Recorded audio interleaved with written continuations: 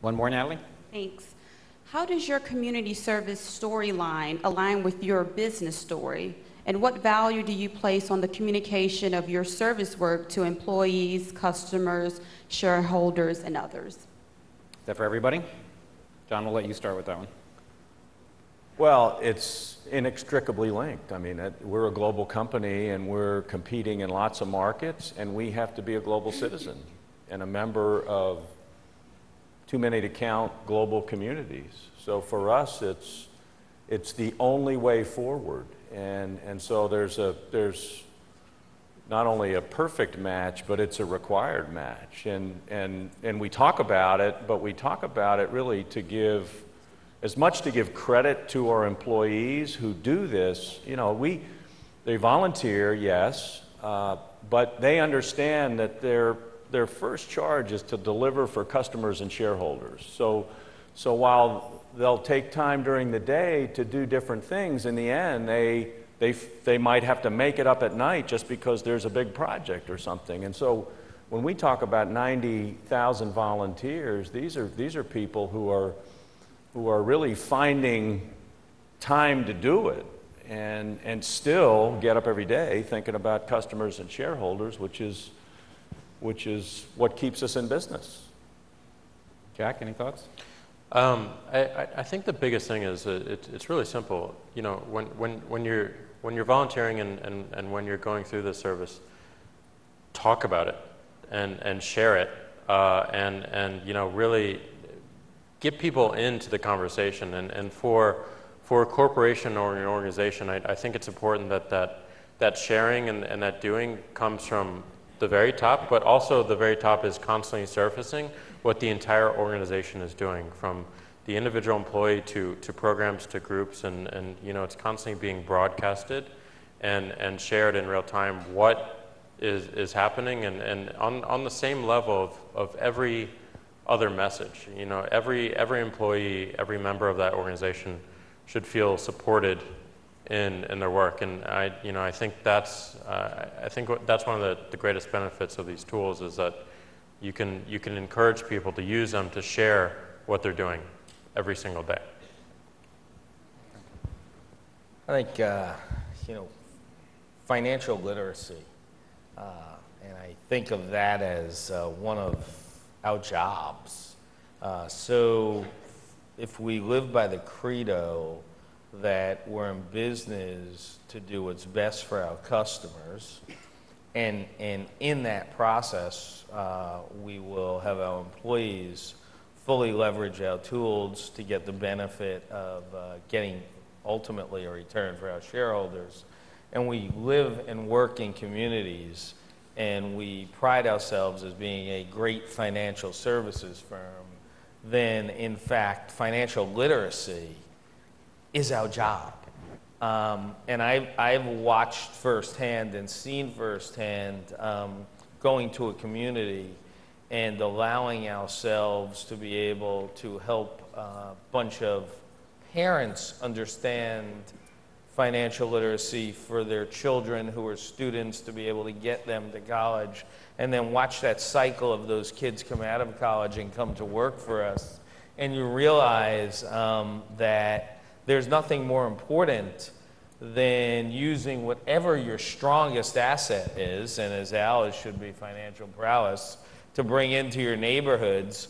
And out of that, you know, is its own form of viral marketing that comes right back to the firm and brings back the next set of customers. And in some cases, you know, my dream is it's the next set of leaders for the firm, too. So I think it is a very uh, circular activity if uh, you in business to serve your customers and believe that you're going to use your best tools to help your communities, that uh, your employees will see it, it will market itself, and you will gain the benefit of it. One last question. This is almost a business school class up here. We have two Fortune 50 companies. We have a gentleman, the way he's going, will certainly be on the Fortune 25 list very soon, the gentleman in the middle. But the people sitting in the audience are representing much smaller organizations. They're representing not for profits.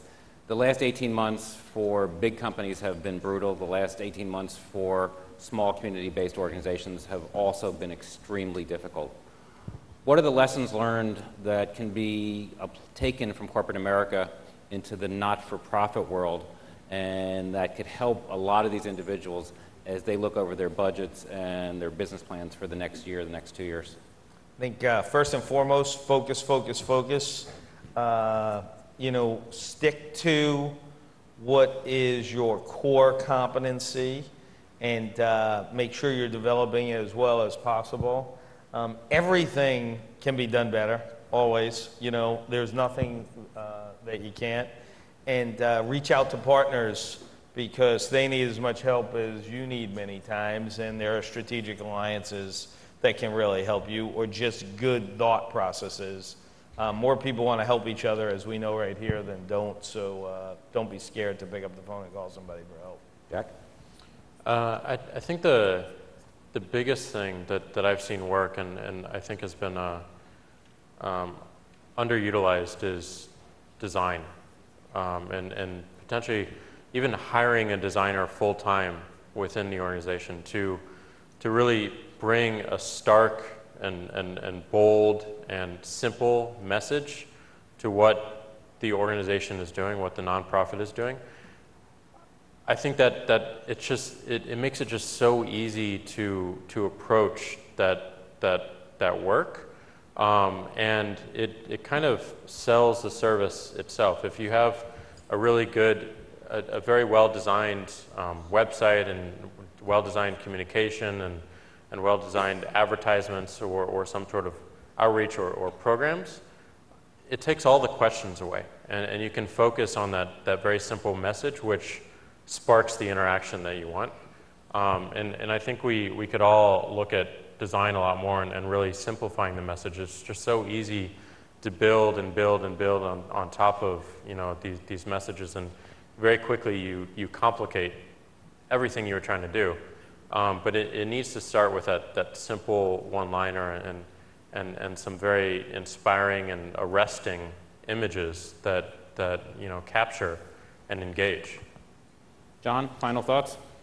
You know, in our world, John, uh, the leaders who do the best are people who do what they say they're going to do and demonstrate that they're effective stewards of our resources and they find ways to do more with less. And I'm not so sure that the same requirement doesn't exist for all of you, especially in this world where we're challenged by maybe having fewer resources to work with or contributions that have been cut.